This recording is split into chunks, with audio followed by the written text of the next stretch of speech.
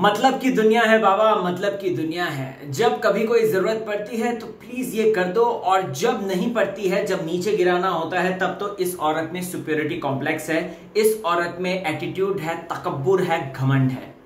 मैं किसकी बात कर रहा हूँ? राहुल वैद्य की बात कर रहा हूँ।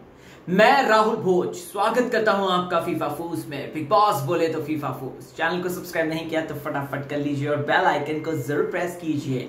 फेसबुक ट्विटर इंस्टा हर जगह पे मैं मौजूद हूँ, आप चाहे वहाँ पर मुझे फॉलो कर सकते हैं। राहुल भोज नाम है दैट्स इट अब आपको बताना चाहता हूँ एक ऐसा फुटेज जो मैंने देखा एंड देख के मुझे लगा, यार, क्या ये वही आदमी है जो कि कल तक कहता था सफ़ेद बंदरिया कल तक कहता था, ये आदमी जो है तुझमें घमंड है, रोडिना, तू जो है घमंडी है, ये घमंड शब्द तेरे पर्यायवाची है, तेरा ही सिनोनिम है रोडिना दिलैक ये बात बोलने वाला दोस्तों, आज अचानक से इतना विनम्र और इतना ज़्यादा कह सकते हैं यू नो प्लीज़ क्यों करने लगा?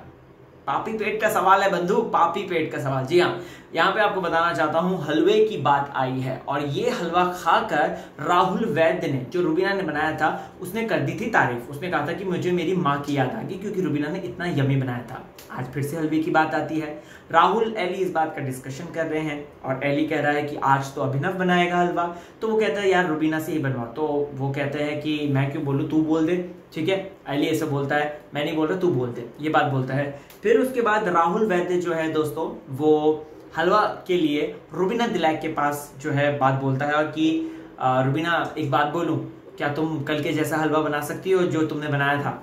इस पर रुबीना कहती है, ठीक है, मैं अभिनव आता है तो उससे बात करती हूँ। वो कहता है कि, मुझे मेरी माँ की याद आ गई। सोचिए मतलब कि यहाँ पर मुझे कहना है कि मतलब घर कैसा है ना आपको कितनी फिल्टर्स और कितनी लेयर्स ओढ़नी पड़ती है? और जब ज़रूरत पड़ता है तो तुरंत आप उसके पास चले जाते हो और फिर जैसे ही वो होगा तो तुरंत जो है बोलोगे, अरे, इसमें तो कमेंट